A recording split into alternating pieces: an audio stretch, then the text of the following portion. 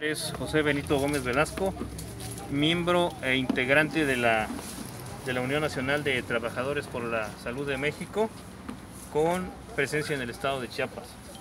Primeramente, eh, quisiéramos agradecerle a los, a los medios de comunicación por las facilidades que, que nos dan. A la vez también queremos refrendar el compromiso y la solidaridad con la compañera periodista Liz Leite por la agresión que sufrió por parte del secretario de Salud del Estado. Este, también queremos eh, externar como trabajadores de la salud nuestras condolencias al pueblo de Chiapas, a quienes hayan perdido algún familiar y a los familiares de los propios compañeros que han fallecido en esta pandemia. A continuación les voy a, les voy a dar a conocer el, el, pronunciamiento que tenemos hoy. Decirles que hoy, primero de, de julio, se está llevando a cabo una actividad a nivel nacional. En este momento los compañeros eh, de la Unión Nacional con, con, representación en la Ciudad de México también, hay, hay 11 estados que se manifiestan, que ya se empezaron a manifestarse desde el día de hoy a partir de las 8 de la mañana y continúan. El pronunciamiento es el siguiente. Tuxtla Gutiérrez, Chiapas, primero de julio 2020. A la población en general, a los trabajadores de la salud, a los medios de comunicación. Ante la actual pandemia provocada por el COVID-19, el pueblo de Chiapas vive la deficiencia e ineptitud del sistema de salud, tanto a nivel estatal como federal, así como de sus diversas carencias que han derivado en su colapso, todo ello provocado por la corrupción arrastrada en administraciones pasadas. Nuestras instituciones han venido deteriorándose desde hace décadas, los saqueadores llegan por, por periodos de seis años y se van. Sin embargo, los trabajadores aquí seguimos en resistencia y trabajando incluso bajo protesta. Los trabajadores de la salud nos reconocemos como profesionales y humanistas con, con una gran responsabilidad hacia el pueblo trabajador y a los derechohabientes del país que nos confieren lo más valioso que poseen, su salud y sus vidas.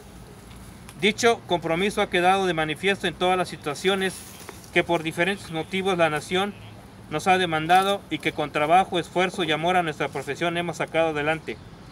A pesar de las, a pesar de las carencias de recursos materiales y humanos, al no tener las plantillas cubiertas como lo marcan las normas oficiales mexicanas en cuanto, en cuanto a material e insumos inapropiados y de mala calidad.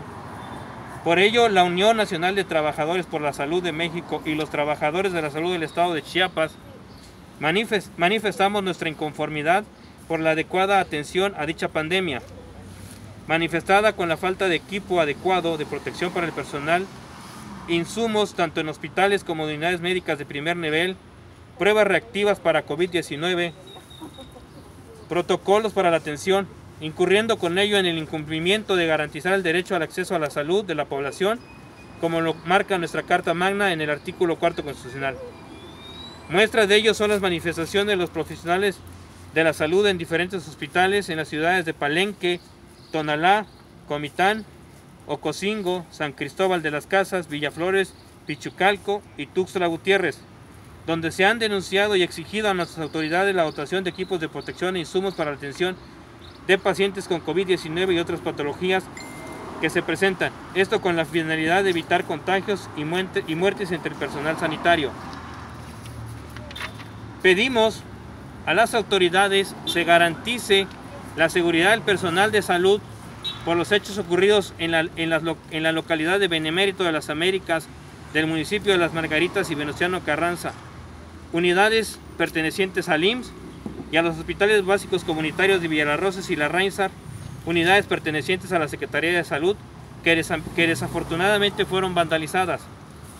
Hacemos de conocimiento de las condiciones en que nos encontramos los trabajadores del IMSS de Tapachula, adscritos al Hospital General de Zona número 1, Unidad Médica Familiar 1, las autoridades de la institución han violentado el derecho de los trabajadores contenidos en el artículo 1, 14 y 16 constitucional, han cambiado el centro de descripción a los trabajadores sin la voluntad escrita de los trabajadores en los tarjetones de pago y ahora pretenden que el trabajador firme una cédula de reubicación en donde el mismo trabajador es quien solicita el cambio al nuevo hospital, que es público-privado, mismo documento que es ilegal y que, y que no se encuentra inserto en nuestro contrato colectivo de trabajo en su cláusula 2 reconoce dos figuras jurídicas, el instituto y el sindicato. No existe la figura del patrón particular y el nuevo Hospital General de Zona 1, Nueva Frontera, es una función pública privada. Al trabajador en ningún momento se le tomó en cuenta si queremos pertenecer a un patrón particular. Es por ello que se han realizado manifestaciones para alzar la voz a estas violaciones. Asimismo, damos a conocer que se ha informado a las diversas autoridades sin tener respuesta alguna. Hacemos un llamado a todos los trabajadores de la salud, Secretaría de Salud, IMSS, ISTE y STECH, en mantenernos de pie y en unidad para enfrentar la pandemia que aún aqueja a nuestro Estado. A la vez, reconocemos la labor que realizan cada uno de ellos. Hoy, primero de julio, a dos años del mandato del presidente de la República, el licenciado Andrés Manuel López Obrador, solicitamos su intervención a la problemática de salud que enfrenta nuestro Estado, por lo que, por lo que le recalcamos el decálogo de la Unión de Trabajadores por la Salud de, México, por la Salud de México, que se le hizo llegar el día 29 de mayo del 2020. Y resolver la problemática laboral. Aumento del Producto Interno Bruto de Salud del 2.8 al 5%. Cese inmediato de la persecución, represión y hostigamiento laboral de cualquier autoridad.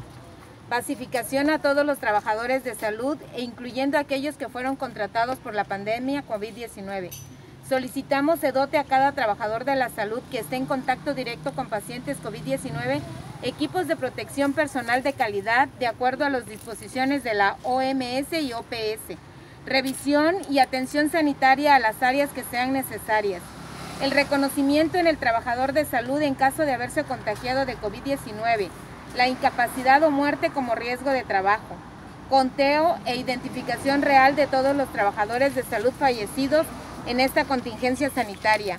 Auditorías en las reconversiones hospitalarias y compra de insumos derivados de la contingencia sanitaria COVID-19. Fin de todas las afores. Vamos por un régimen de jubilación más justo. Unión Nacional de Trabajadores por la Salud de México.